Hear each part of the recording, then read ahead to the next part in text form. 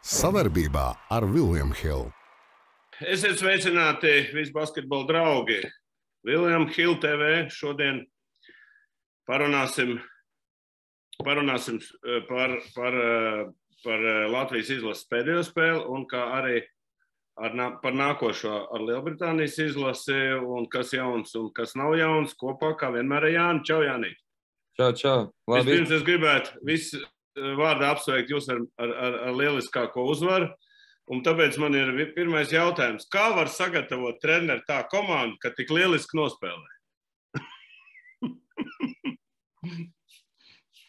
Nē, nu, es domāju, tas ir vairāk. Uh, nevajag uzņemties kredītu treneriem vai visiem. Tas ir uh, pirmkārt, mm, tas ir tā, tā, tā ažiotāža, ko radīties, teiksim, tā skatītāji. Jā, tas viss, ka tomēr tā zāle ir izpirkta nu, tas, nu, tā, nu, tā nav vienkārši. Ne, nebija vienkārši spēles spēlētājiem, acīm redzam. Nu, tomēr tas uh, ceļš, ko uzbrukumā parādīja komanda, tas ir kaut kas jau. Nu, Droši vien viens no augstākajiem līmeņiem, ko viņi varēja, ko varēja sasniegt tajā dienā. Ja? Es domāju par metienu pretstatu, par intensitāti. Ja? Un, un tas ir tāds kopējs, droši vien, panākums. Uh, skatītāji radīja šo, nu, pirmkārt, spēlētāji nopelnīja, ka skatītājiem rodas interesi. Uh, Kristaps parādījās komandā, kas deva vēl interesi. Viņi iznāca uz to spēli ar kaut ko tuvu savam potenciālam, ar tādu, nu, kā es teicu, kā man jau arī likās, eh, ka nu, labiem spēlētājiem jau patīk, ka tie, tā, tās lielās spēles, nu, viņi to arī pierādīja, ka viņi ir labi spēlētāji. Mm, tā kā tas ir tāds kopējs mūsu visu, visu arī visu to, visu sabiedrības, jā, tas uh, panākums. Nu, un, ja mēs saprotam, kā mēs to varam izdarīt, mēs varētu arī tā turpināt. Varbūt. Par plānu, spēles plānu. Pamatsastāvā tu jau pagājušajā pateici, ka jūs neko nemainīsiet. Sastāvs arī nemainījās. Nu, bet par plānu. Nu, tomēr bija bažas par Larkinu un Osmanu, ka viss tā spēle ies un ka viņi tur žarīs. Tā kā viņi FSA Larkins dara, bet eh, kaut kā to pirmo, kaut kādu vienu pusi bija tāda bīstama. Likās, ka, nu, ka tūliņi viņi te šaus kā vienmēr, un tad apstājas. Kāds bija plāns pret viņiem spēlēt? Jo daudz reizes viņi vienkārši brīvi izmet. Garie nepaspēja, bija tāds plāns, vai, vai tomēr nokavēja tie garie? Nē, nu, tieši par Lārkinu bija, protams, kad uh, viņš tajā sasmē ātrajā pikanrolā. Mm, viņš uh, iemet pāris trīs punktu metienus, kur mūsu garais spēlētājs nosacīt bija nu, pa zemu. Viņš atļautos metienus izmesties bloka. Bet nu, to mēs veiksmīgi atrisinājām otrā puslaika sākumā, kad Lomažam tika uzticēts teiksim, tā, vairāk to Lārkinu pieskatīt tieši tajās tranzīcijas pārējās. Uh, noņemt tās 5 pirmās sekundes, iedot nedaudz vairāk laika pārējai komandai atgriezties. Un tad, nu, principā tā spēle turkiem arī kļuva lēnāka, vairāk kontrolētāka. Un es domāju, ka tas bija, nu, protams, un mūsu uzbrukums strādāja tik labi, ka uh, vienā mirklī viņi tomēr, nu, vairāk vai mazāk noņem tos galvenos spēlētājus malā un sāka kaut ko eksperimentēt un meklēt kaut kādas variantus dažādas, kurš neviens īstenībā arī nestrādāja beigās. Tad um, Volkovs noskatoties šo spēli, teica, viņš man tā teica, ka, uh, kad labākā Eiropas komanda nebrauc uz Eiropas čempionātu. Nu, pēc tās spēles, nu kādu viņš redzēja, viņš teica, tādu kosmosu no Latvijas pirmkārt nebija gaidījis, ja? otrkārt, nu, ka mums esot, nu, nu, kas saka, sastāvs, uh, sastāvs tā nokomplektēts, ka viss ir spēcīgas pozīcijas, ja? Tātad, kādas vispār ir problēmas pašam šobrīd komandā? Nu, mēs vēl par Lielbritāniju runāsim, bet tā, iekšēji, kur tu jūti, kur ir vēl vājie punkti? Nu, noteikti, noteikti aizsardzībā domāju, nebija tā labākā. Skatāmies, ka labi, turki metri labu procentu, bet tomēr bija, nu, aizsardzība nebija izcila, nebija ne tuvu izcila. Jā, varbūt arī nu, līdz izcila aizsardzībai mēs ar, šo sastāvu nenonāksim. Tomēr tas ir ļoti nu, lielākā daļā gadījumā uz uzbrukuma tendēts. Jā, pa mīnusiem es domāju, es doto mirkli mums ir diezgan daudz situācijas arī Artur Kurus prombunu to veicina, ka mums ir tikai viens spēlētājs, kas var veidot ar bumbu, kas jebkurai komandai ir ļoti bīstami. Tomēr tikai viens, jā, īpaši, teiksim, nu, Dairis, viņam nav tipiski, teiksim, tās īpašības, ka viņš varētu vadīt to saspēli, veidot tik daudz, jā. Līdz ar to, nu, mēs esam daudz atkarīgi no Zorika, strēlnieku, šajā gadījumā Blomažs bija vēl, nu, tā problēma ir tāpat, kas bija pirms tam. Garie ir, mazie ir, bet teiksim, nu, mēs esam nedaudz ievainojami kaut kādās situācijās. Man, nu, jūs gaidījāt to, ka Kristaps tā dominēs aizsardzībā, tad, kad viņš tur ir apakšā. eh, ka tie turki vienkārši tur viņš. Nu, tur bija Un- sākums, redzēja sākumu. Uh, nu, Sanlīja meta tipisku metienu, un, un viņam bija tāds šoks, kas notiek, kāpēc, kāpēc man ar elko nobucēja bumbu. Ja? Nu, tas viņa izmērs un tas viņa, viņa tā spēja lasīt to aizsardzību un spēja kustēties tādā ātrumā. Ja? Es domāju, ka arī Eiropas spēlētāji, arī tur NBA džeki, ir, viņi nav pieraduši pie kaut kā tāda. Ja? Un, nu, acīm redzam, ja viņš tur vienkārši bloķē tos metienus tā, ka viņi pat nesaprot, no kurienes tas notiekās. Ja? Nu, mūsu uzdevums ir viņam radīt tās iespējas, lai viņš būtu tur apakšā, lai viņš palīdzētu. Tur, ja? Tā kā nu, viņš ir vienkārši uz šī izmēra, uz šiem basketbola Eiropas, teiksim, viss tas standarts, viņš ir vienkārši monstrs. Gan uzbrukumā, gan aizsardzībā, to mēs redzējām. Un viņa mindsets ir ļoti, ļoti nu, eiropeisks, tikpat, va- ja vajag, ja viņš ļoti labi saprot, kas ir svarīgi, kas nav svarīgi. Es domāju, ka viņš ir ļoti labā tādā briedumā, lai varētu sākt kaut ko vinēt ar izlasi. Pa spēles sākumu. Spēle sākumā neaizgāja, jā, bija tāda nervoza un parādījās līderis. eh, Rolands Šmits iemet trīs punktnieks, jā, kas, ko neviens negaidīja. Tas tāds jums arī bija pārsteigums, vai, vai kā tas sanāca? Nu, nu, nosīt, jā, nu, nu, ne, nu, jā, es jau teicu, ka Rols, ka viņš divas tikai nedēļā bija iemetis visu nedēļu, jā, tagad viņš iemet pirmajās minūtēs divas, bet viņam pretī arī tas turks, tur nebija nekāds baigais snaipers arī, Nē, tas samet divas, jā, tāds, nu, tā kā vispār godīgo bija. Bet, protams, kad, nu, galvenais, lai Rolands apzinās, kur ir tomēr tās viņa primārās spējas zem groza strādāt, un, un, un viņš tur ļoti labs ir apakšā un, un, un, un kustīgs, nu, lai viņš, teiksim tā, nekļūst tikai par to, kas met pa grozi, jā, jo viņš ir ļoti plašs pla, plašs spēlētājs. Bija bažas par, mēs pagājušajā runājām arī pret Igauniju, ka dāvs neie, neiedarēsies tajā trešā numurā, bet sanāca tieši otrādi. Viņš ļoti spēlēja ļoti labu spēli. Tas bija tā kā viņš tur tā kā Igaunijā muļķi, pret Igauniem muļķi palaida vai kā, vai tā kā piešās un te viņš saņēmās. Kā tev liekas? Nē, es tev uzreiz gribu paprasīt, vai tu varētu atļauties to, ko viņš izdarīja savā laikā, kad viņš tur iztriblēja pieciem caurām. Un uz stūra aizgāja un iemet trīnīt. Atceries? Jā, trīnīt, jā, tā, tā, nu, bet, godīgi sakot, tajā mirklī arī likās, ka, nu, tā, tā emocionālā, tas, tā pārliecība, kas bija tajā komandā, jā, likās, nu, kad viss ir kārtībā, arī tāds metiens šodien, ies, jā, bet kopumā daudz, nu, viņš, viņš, nu, viņš ir spēlētājs, izcils spēlētājs arī, nu, protams, kad eh, viņš ir emocionāls un tā tālāk, nu, es domāju, ka lielās spēlēs viņš ir labāks nekā, nu, teiksim, nosacīt tādās mazākās, netik svarīgās spēlēs. Nu, tā kā, viņš arī man ļoti pārsteidz, ka viņš diezgan uh, tomēr plašāks ir. Ne? Viņš nav tikai tāds, teiksim, kas met šeit Eiropā, viņš varētu būt nedaudz plašāks spēlētājs. Jā, viņš tomēr var arī kaut kāds driblus uzsist, ir caurgājieni viņam, jā, salīdzinoši, teiksim, jā, un tas izmērs.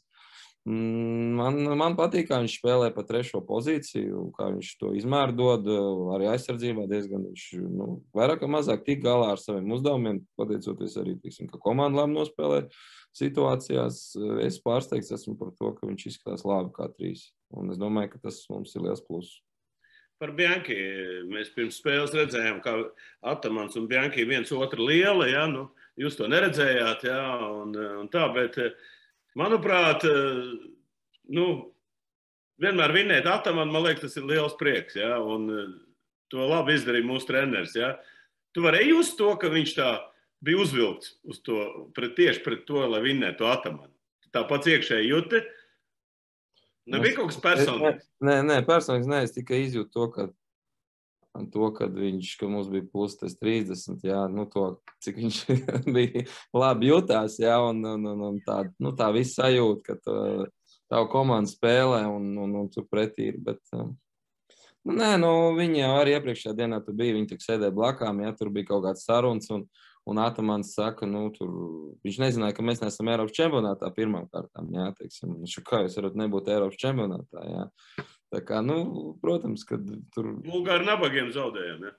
Nu, nē, nu, jā, bet viņi redz mūs arī tā, kā viņi redz. Un, protams, ka viņiem savas problēmas. Nu, redzēs, viņiem rīta serbiem jāspēlē, būs interesanti spēle Atamanam, jā, un tur būs liela spēle atkal. Tā kā viņi tur Zin, kā, viņš arī liels treneris ir atamants. Viņš zina, kad arī, nu, kā tik galā no šīm situācijām. Baigi, nu, bet viņš korekts, ļoti korekts. Nekāds, nu, viņš mācīja zaudēt, būsim godīgi. Ja. Viņš nu, zaudēja, zaudēja, viņš apsēdās. Viņš nāca tur, eh, kā teikt, smaidīja un apsveic visus. Jā, jā, jā, jā. tas arī kaut ko rāda, jā, teiksim, ka viņš arī, nu, teiksim, māks. Viņš pateica, ka mēs bijām labāki. Nu, viņš to saprata un pateica. Un nebija tur nekāda tiesneša vēl. Nu, tur nebija variantu. Tad jautājums, kāpēc mēs bijām labāki? Mēs esam labāka komanda, vai tā spēle bija tik laba kā, kā, kā, kā nekad? Ja, nu, spēle bija izcila. Protams, ka mums pie 7,3%, viņiem arī pie 7,3%. Ja. Bet es domāju, tas, tas, nu, tas hype, ja tā var teikt, tas, ko tur tie līdzjūtēji, tas viss, jā, es domāju, viņš iedeva vēl tādu ekstra, ekstra, ekstra, ekstra. Es, es, nu, tā bija spēlētāja spēle. Tur laid, ko grib, viņi nāk spēlē, viens, viņi baudīja to basīti, bija kļūdas, bija kaut kādi momenti, viņi tur tika galā. Tiesneši otrā ceturdaļā pāris vilps tur satricināja to komandu. Tikām galā, pārtraukums palīdzēja, iznācām ārā. Nu, tā bija tipiska spēlētāja spēle, kuru spēlētāji spēlēja izcili un nevar nosaukt nevienu, nevienu kurš nospēlēja sliktu spēli vai viduvēju. Visi spēlē, tiešām visi spēlētāji spēlē labi.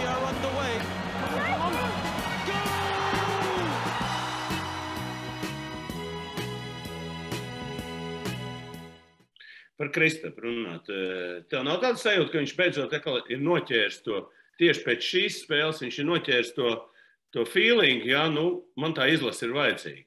Tev neliekas tā? Nu, man tā liekas. Man liekas, ka viņš izbauda. Es nezinu, kā, viņš, kā viņam tur NBA, nu, es nevaru ielīst viņai, es neesmu prasījis. Bet es domāju, ka viņš eh, šīs spēles katrā ziņā ļoti bauda. Nu, gan tas, ka tie džeki ir kopā, tomēr viņi tie savējie čaļi gan arī, protams, atmosfēru. Es nedomāju, ka tādu, tādu veidu atmosfēru, ažiotāžu varbūt lielāka NBA tur cilvēku un viss tas, jā, tas, kas notiek. Bet, ja mēs runājam par latvieti spēlētāju, jā, es nezinu, kur var kaut ko tādu tā, tā būt pretī. Un es domāju, tā ir kā narkotika laba. Kas, ja es esmu pārliecināts, ja viņiem veselība atļaus, un, protams, tas ir, nu, tur, teiksim, uh, jautājums. Jā, neviens nezina. Nu, es domāju, ka viņš arvien biežāk un biežāk būs ar, būs ar izlases katru reizi, kad būs iespējams. Jā, un atcerieties, mēs vēl pagājušajā gadā runājām par to, ka viņš pat nenāk uz spēlēm. Nu, nenāca pat uz pats būdams Latvijā, neatnāca ne uz spēli. Toreiz viņš tika kritizēts. Nu, nu kaut kādā vērā, nu, ka viņam neinteresē tā izlase. A, kas ir pamainījies tā? Tā, nu, nu, vienkārši gads un pasties. Un, un te bija viena situācija, te pilnīgi otra. Mēs pat spēlējām ar, naglās eh, ar būli par to, vai viņš vispār atnāks uz Serbijas spēlēs, ka viņš toreiz atnāca. Un visi kaut kāds klikšķis ir noticis, vai kur es, mēs gribam saprast. Man grūti pateikt. Es domāju, ka. Eh, es nezinu, es domāju, ka.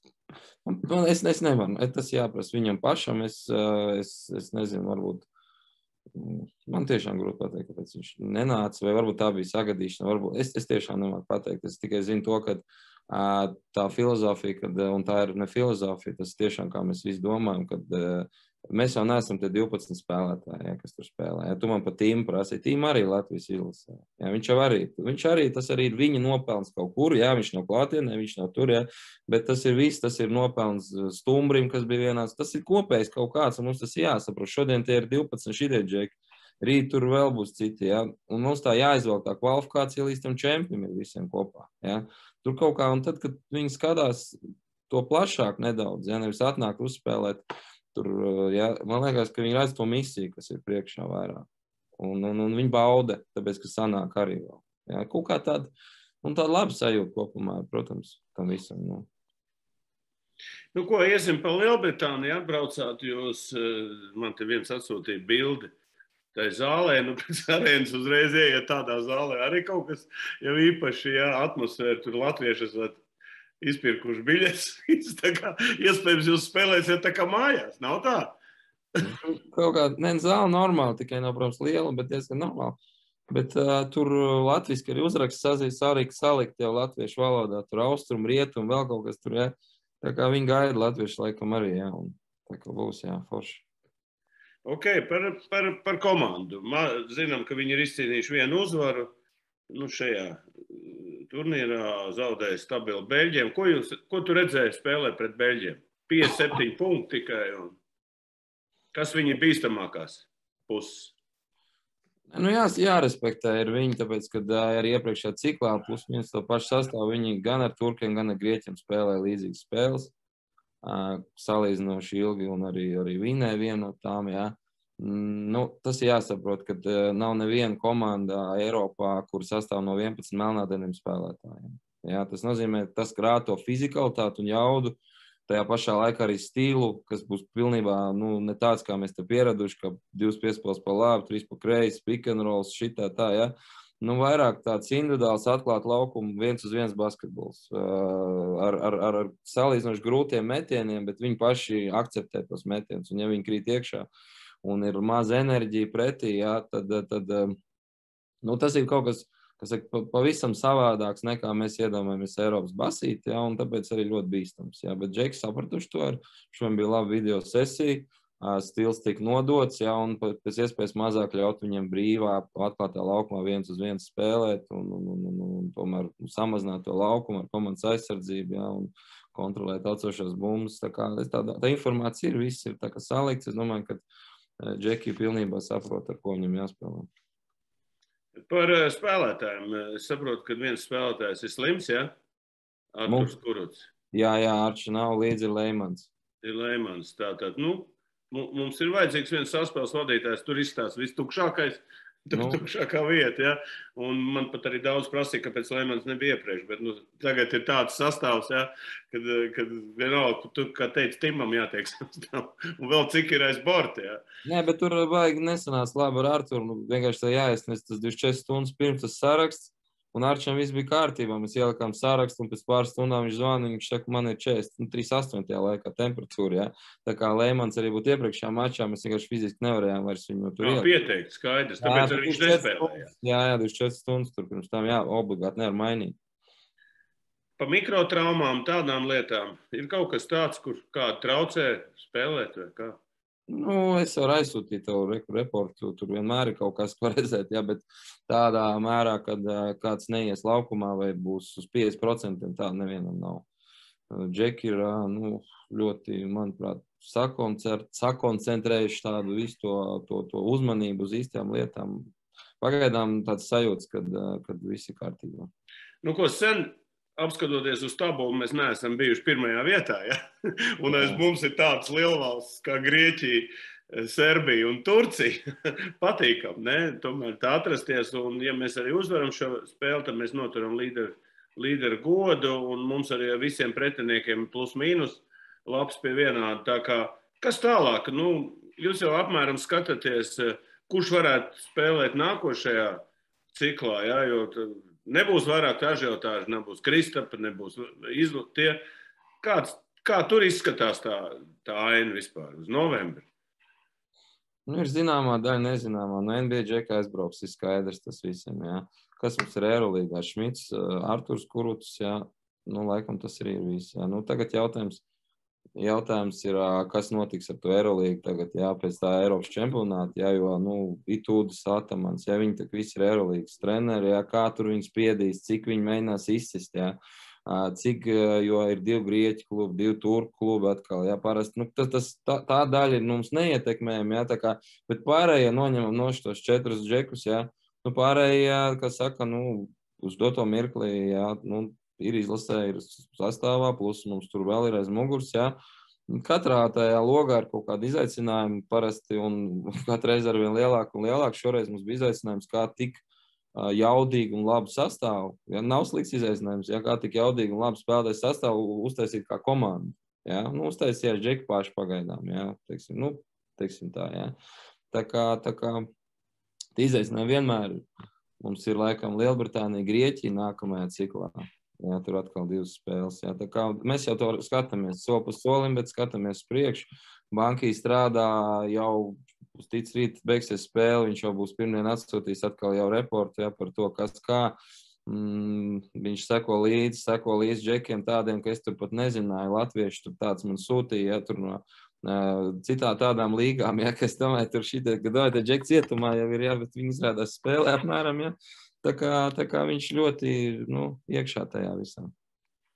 Es Twitterī ierakstīju tādu ziņu, kad uh, Basketbola savienībai iedeva mājienu, ka jānoslēdz ar Bjanki uz pieciem gadiem līgumu. Kā tu uztver šo, šo manu tādu, tā kā, nu, ne, Es neteiktu, ka tas ir joks, bet tas tāds nu, - tāds aģents, aģents, ne, aģentā. ne, es neesmu viņa aģents. Ja. Es, es domāju, ka es man likās, ka es jau. Nē, tā kā nē, nu, es pirmām kārtām, nu, mēs jau vēlāk vēsturiski pastāstīsim, kā vispār Bjanki nokļuva. Gan jau Krist, Ciprus izstāstīs, ja, ja mēs kaut kādas medaļas izcīnīsim. Bet, nu, kamēr neesam izcīnījuši pagaidām, par to mēs neko nestāstīsim. Bet kā tu uztver? Visu šo te, tomēr es otrais treneris, vislabāk jūtu. Mēs esam beidzot atraduši treneri. Nu, spriežot pēc tā, kā mums iet.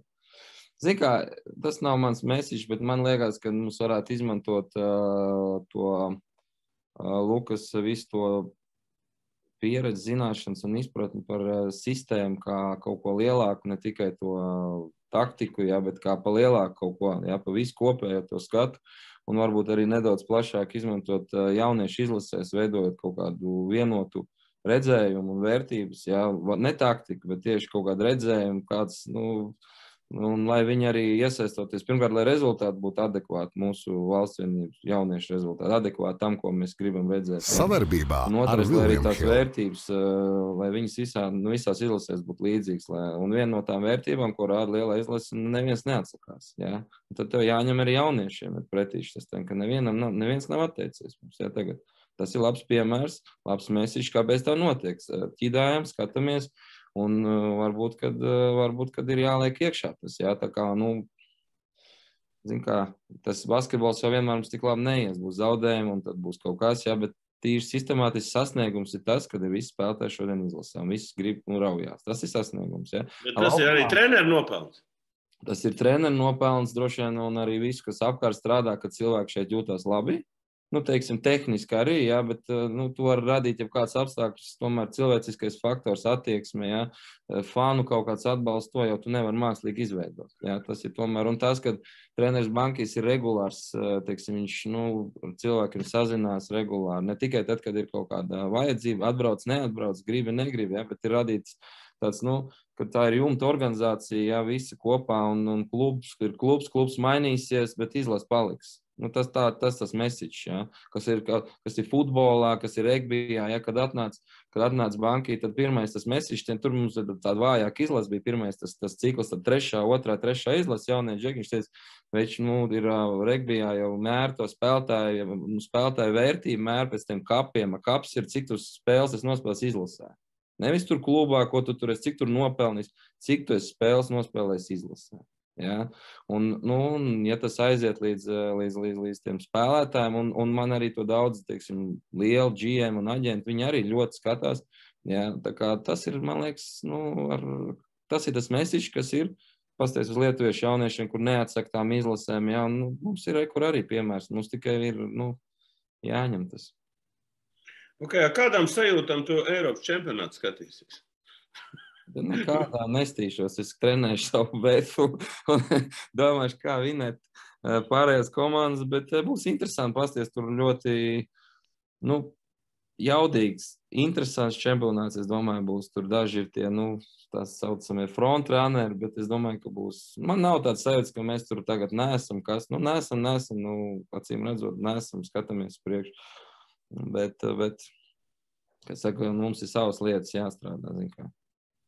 Ok, eh, es ehm, par vestu mēs vēl runāsim sezonas ietvaros, tad, kad jau sāksies sezona, kas tur un kā notiks. Eh, eh, Jānīt, es novēlu jums rīt izcīnīt uzvaru un, kā teikt, skatīties, pacelt galvu jau tālāk, jo tiešām tik tuvu līdz pasaules kausam mēs vēl neesam bijuši. Tik tuvu, ja tā domā, mēs neesam. Mēs neesam tur iekšā, bet tik tuvu neesam, jo uh, Vispār jau mēs neesam pasaules kausā Latvijas nekad spēlējusi vēsturiski. Tas var būt vēsturisks pirmais pasaules kausa, no kā arī atlasās uz Olimpiskajām spēlēm. Tā kā jā, to tas, nezināju, to gan es nezināju. Jā, tas ir jā, tā kā viss tas ir ķēdīt. Tur ir ķēdīt, jau kaut kādas komandas atlasās, nu būs arī pēc tam. Bet, ja tu tur esi augstāk vieta, tad tu būsi nodrošinājis kvalifikāciju, saprot, olimpisko. Tā kā pasaules kausa ir gandrīz tāds, nu, labs ieskrējiens pirms Parīzes. Ja? Kā, un tad ir Rīgā Eiropas čempionāts 25. gadā. Tā kā šie trīs gadi mums kopumā būtu basketbolā, nu, es teikšu, tādi labākie gadi varbūt visā basketbola vēsturē. Nu, skaidrs, ja būs panākumi, tad būs vispār kosmos tādā jomā. Tā kā, nu, Jānīt novēlu un, un, un Čaļus saka, saka, mums ir iepriecinājuši ne tikai rezultāti, bet ar spēli, ar attieksmi, un fani jau ne, parādā nepaliek. Nē, nē, faniem liels paldies par nu, tur, nu, to nevar aprakstīt. Ja? Bet mums vajag tikt skaidrībā ar to jautājumu, tāpēc, ka, ja, ja, ja nu mums sanāk, un mēs visi tiksim, tad tu brauks vai nebrauks uz to, uz to čempionu? Man? Nu, ja, nu, es, esmu, es esmu vienīgais pasaules čempions Latvijas. Nē, nu jā, jautājums, Kā es varu nebraukt? Japānā brauks, vai kur viņš tur būs? Jā, nu, kā, varbūt... ja, delegācija, ja man delegācijā paņem, redz, man jau pat vieta nav, kur sēdēt tur tajā. Tur. Es esmu vienīgais šitas te basketbola slavas zālē, bet man tur vieta pirmā rindā nav. Tu apsties, kas tur sēž. Nu? Klausies, mums, kā... ir, mums ir doktoriem ledus kaste tāda zila. Uz tās kartes jau vajadzēs, cik tur līdz Japānai.